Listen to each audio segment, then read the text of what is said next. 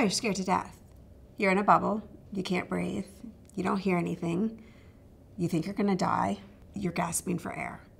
Chris was reeling from the shock of a cancer diagnosis when a doctor suggested she go on a clinical trial for breast cancer. I thought breast cancer was garden variety. I thought everybody had the same breast cancer. I didn't know what a clinical trial was. Now I know not only is there one clinical trial, there's hundreds, there's thousands. Women faced with a breast cancer diagnosis have a lot of choices to make. Some women, like Chris, decide to go on a clinical trial. Clinical trials are important because this is how we improve on what we have. This is how we discover new drugs that help treat women with cancer. Drugs like tamoxifen, which is a drug that saved thousands and thousands of women, uh, came about because of women participating in clinical trials many years ago.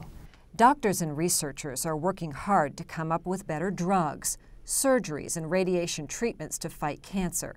Patients can sometimes benefit from these new treatments and help in the discovery of new ones by joining a cancer research study or a clinical trial. What's exciting about breast cancer is that we have drugs that are currently available today, as well as radiation techniques and surgical techniques that weren't used as recently as two or three years ago. And all of these things have led to significant improvements in the care of the breast cancer patients, higher cure rates, and less side effects. Cancer clinical trials test new ways to treat cancer, to manage symptoms of cancer, or side effects from treatment. Clinical trials help researchers find out if new treatments are safe and work better than current treatments. When you take part in a clinical trial, you help make cancer care better. When I was diagnosed with breast cancer, believe it or not, I didn't know anybody with breast cancer. Um, now I know a world of women with breast cancer, but I had to look at it as a whole. If it's not going to do me any good, maybe it's going to do somebody else some good down the road. Chris decided that a clinical trial not only gave her the best treatment option available, but also could help other breast cancer patients. There's many reasons that women may want to enroll in a clinical trial. One of the reasons is that you're helping to develop a drug that's going to be available for future generations that can help treat breast cancer better. Another reason is that you get access to a drug that you otherwise would not have been able to use. And finally, you get very closely followed on a clinical trial. You have a tight care team that's watching you closely to make sure that you're tolerating the drug and not having side effects.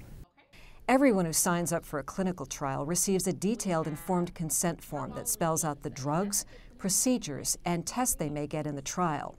They're given time to ask questions and review it before they sign it.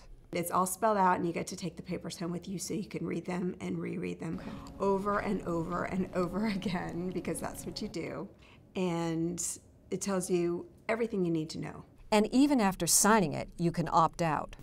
Women who decide that they do want to enroll in a clinical trial might decide later that this isn't the right fit for them.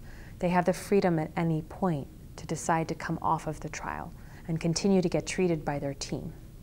In some clinical trials, patients are put into groups that get different treatments. The way people are placed into a group is called randomization. Randomization is like the flip of a coin. The possibility of getting heads is the same as the possibility of getting tails. One group gets the new treatment. The other group gets the same medicines and treatments they would get if they did not join a clinical trial. Both groups get treatment for their cancer. Since being put into a treatment group is like flipping a coin, doctors are able to learn which treatment is really the best, the regular medicine or the new one. I just wanted to make sure that I was getting actual drugs. I didn't want to come in thinking that I wasn't going to get a real drug and that I was just going to be filled with water. So that was my big concern. Women often have concerns about what kind of treatment they're receiving on a clinical trial and if they're receiving a placebo treatment. It's important to understand that everyone is getting treated on a clinical trial. Some women may be receiving a drug that we routinely use, other women may be receiving the new drug that we're trying to learn more about, but everyone is getting treated. When you're on a clinical trial, you are watched very closely by a whole care team, including your doctors, nurses, and research coordinator. They will check on you constantly to see how you are responding to treatment and how you are feeling overall. They all know my body, and to me, that's great. It's a time commitment, but I felt like I had more security that way. I'm going through cancer treatment. I want as many people checking me out as possible. One of the greatest benefits, I think, of patients being on a clinical trial is that they get another person on their team, someone in their corner, someone supporting them, someone checking up on them, uh, a primary contact. We actually give them our phone number that they can call us. They're not getting a recording. Um, they can get us directly. So I think that makes a lot of patients comfortable, more comfortable about going on a clinical trial, that they have more people on their team. I never felt like a guinea pig. My research coordinator, Edith, would come and hang out with me. She'd come check up on me, take notes, and then we'd chat. The decision to go on a clinical trial is a personal one, and women should not feel pressured about it. Doctors and their staffs urge patients to ask questions and bring family or friends into the discussions.